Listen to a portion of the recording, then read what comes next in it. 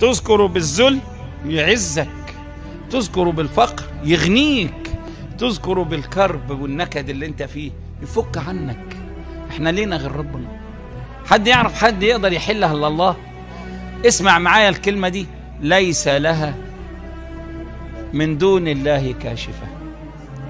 خلص الكلام لا حول ولا قوة إلا أمرنا بإيده نسيبه ورايحين ندور على غيره ليه بس؟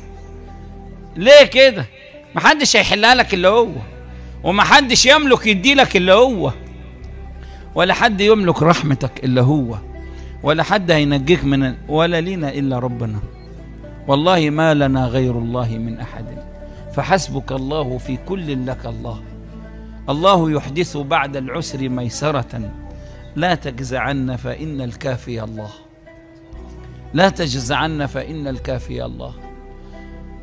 ليخرجكم من الظلمات إلى النور. يبقى أنا عايزك كأن الله بيقول لك ما تبطلش ذكر.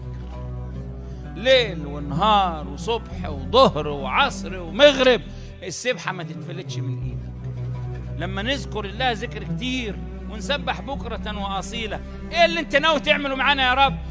هو الذي يصلي عليكم وملائكته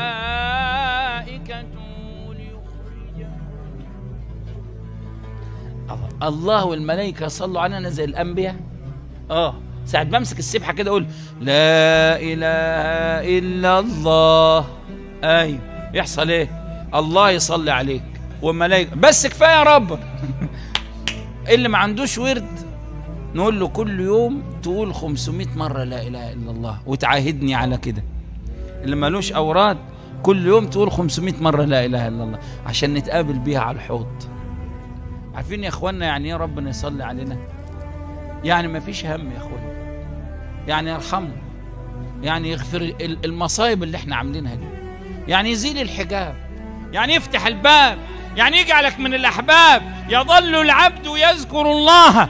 حتى أن الله يحبه. فإذا أحبه قربه فإذا قربه أدناه فإذا أدناه تولاه فإذا تولاه ولاه فإذا ولاه رفعه فإذا رفعه أجلسه فإذا أجلسه آنسه فإذا آنسه حدثه فإذا حدثه أورثه فإذا أورثه رفع الحجاب وأشهده جل جلال الله فلا يكون للعبد مشهودا إلا الله.